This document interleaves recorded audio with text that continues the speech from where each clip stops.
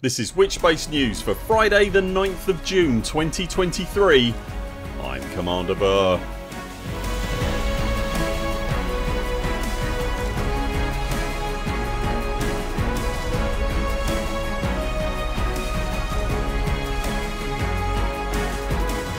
In Elite Dangerous news this week Patch 15.02 arrives. You can now build your own LEGO SRV. There's a Glaive survival guide from the AXI. The successor to EDDB is looking for more developers. Get set to witness the first landable atmospheric planetary collision and more. As always if you enjoy our videos please do hit the like button and if you haven't already be sure to subscribe and click the bell so you don't miss any of our Elite Dangerous content. You can also join our Patreon if you would like to help directly support our work. Links to that and everything else are below. We start this week with a perennial favourite of ours here at the pit LEGO. Serial creator and SPVFA admin Commander Nick Webb has been working on a custom LEGO build for a Scarab SRV. I'm pleased to say that not only is the build complete but Nick has also published the complete brick listing and build instructions onto Twitter for commanders to download and build themselves. The instructions are, I'm going to use the word proper, are proper and look like they've come from a bona fide LEGO kit which of course they didn't. The build comes complete with a commander figure, 4 cargo canisters and working cargo storage area and I flippin love it. You'll find a link in the video description below to grab the brick list and instructions for yourself if you fancy hitting up your favourite generic building brick online emporium and cobbling together your own SRV.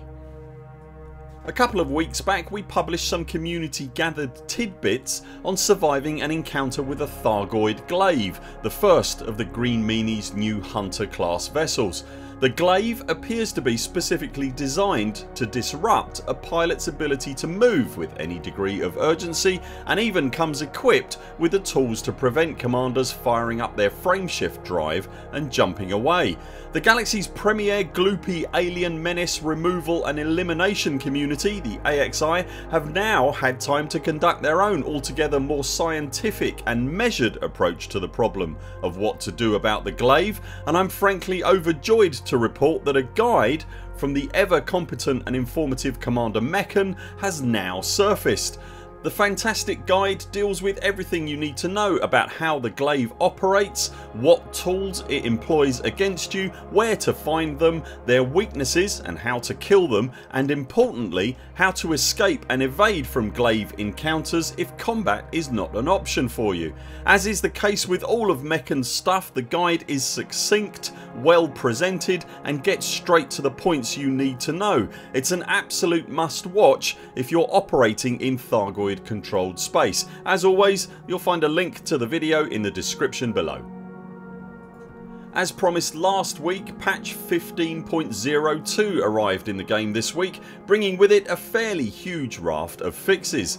There was some confusion in the community when the patch initially arrived as FDev had used the words quality of life update to describe the patch. Understandably a portion of the community took quality of life to mean quantifiable and deliberate changes to existing features in the game. For example improving the flow of a frequently travelled UI or I don't know adding a guide to refuel fleet carriers or keybinds for functions like docking computers and supercruise assist.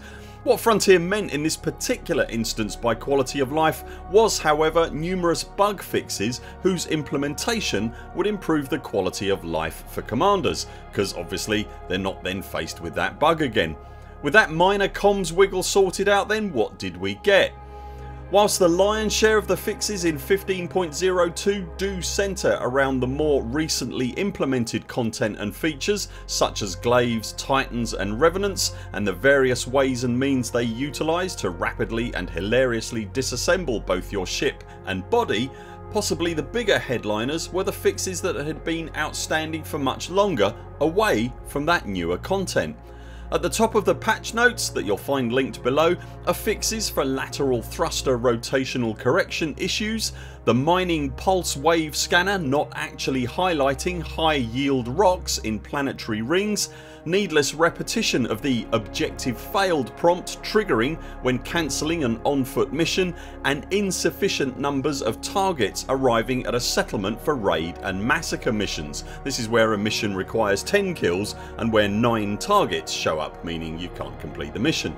These particular issues have been outstanding for a year or more and in the case of the cited log for rotational correction issues that was originally created in November 2021 so it's really good to see these issues resolved finally. One other point of note in case it's valuable to you the deployed Frontline Solutions turrets that spawn at surface conflict zones now have a 10 minute downtime when disabled as opposed to the 2 minute downtime that has been in place since the turrets were first added to the game just after Odyssey launched 2 years ago the notes specifically mention that the change should encourage, my word not FDevs, commanders with surface attack capable vessels to now actively engage the turrets and open up a window of opportunity for ground engagement or attacks on dropships. That sounds awesome on paper but I remain to be convinced that the turrets themselves contribute enough in terms of firepower to warrant themselves being assaulted in the first instance. I'm aware that they exist and that they shoot at things. I'm not convinced that shooting seriously affects anyone or anything actually engaged in the meaningful actions in the conflict zone. I'm genuinely curious to know if I'm missing something with regard to Frontline's deployed turrets so if your experience has been different do please let me know in the comments below. You may remember a few weeks back we reported on the demise of the Elite Dangerous suite of tools at EDDB.io. Upon the announcement of the website's imminent departure the community immediately leapt into action to begin designing and coding a replacement. That replacement is to be called the Elite Dangerous Pilots Network or EDPN and one of the minds behind the project, Reddit user Llama Air took to the platform this week looking to recruit more developers to the cause and also encourage ideas from the community at large on what the site should include and how it might improve on what EDDB.io did so well.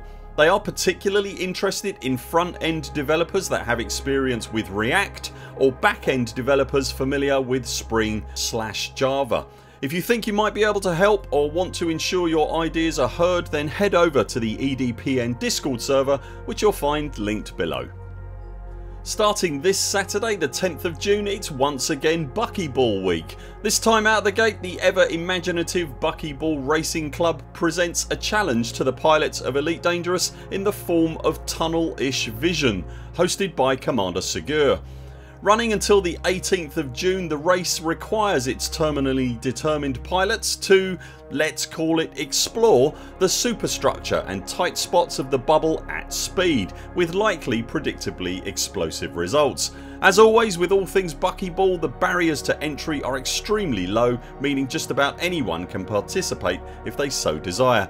To get involved yourself or at the very least view the results of others involved in the race check out the link to the competition on the official forums which is of course posted below this video. The ever vigilant all seeing collective of apocalypse seeking scientists at Canonn Research notified this week about an impending planetary collision taking place within relative spitting distance of the bubble. Whilst planetary collisions in a galaxy as vast as Elite are perhaps not as rare as you might imagine what makes this one particularly noteworthy is that one of the colliding bodies is a landable atmospheric world making the collision in the system Synuefe ZL-OB51-0 the first of its kind. The target system is around 770 light years outside the bubble and the collision is expected to begin around 1.30pm UTC on Monday the 12th of June. Don't go expecting any cataclysmic explosive events to occur. Planetary collisions are in fact essentially a bug and in reality the planets will gracefully slide through each other but these occurrences are no less spectacular for it especially as you can witness it on foot at ground zero. The entire event is expected to last around 24 hours with likely spectacular views at the very least for an hour or two either side of the actual collision so plenty of opportunity to witness one of Elite's more unique foibles. You'll find the system name and all the details in the description below this video. Are you planning on building yourself a LEGO SRV? Will you perhaps be volunteering for the Elite Dangerous Pilots Network, racing in buckyball or travelling to witness a planetary collision? Let us know in the comments below. That's it for now. Thanks very much for watching. We'll be back later this week with more videos. Until then 0 7 CMDRs follow the greens on the way out and do keep clear of the toast rack. We very much look forward to seeing you next time.